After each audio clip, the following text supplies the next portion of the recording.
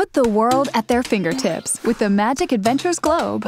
Go beyond countries and capitals. Malaysia, this country is hot and humid year round. With this globe that interacts with the touch stylus to lead them on an expedition of people, animals, habitats, and more through BBC videos. When kids tap the stylus to different countries and cities on the map, the screen will play videos from the BBC that teach them facts about the region. They'll learn about the cultures, languages, landmarks, and animals of the world from live action videos. Can you find it? Then they can test their knowledge and challenge a friend with three games and quizzes around the world, quiz show, and where in the world.